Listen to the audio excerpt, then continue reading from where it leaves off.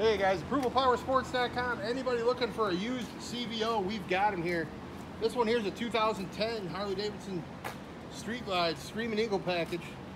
Only 18,967 miles. Comes in that candy Concord color. This thing's got all the extras on it. Daymaker headlights, upgraded floorboards, upgraded lower controls. Yeah, backrest, luggage rack, dual Rinehart exhaust. Stand out from the crowd, 110 cubic inch Screaming Eagle motor with only 18,967 miles. Come and get it. 10999. Give us a call. We'll get it done. 810 648 9500.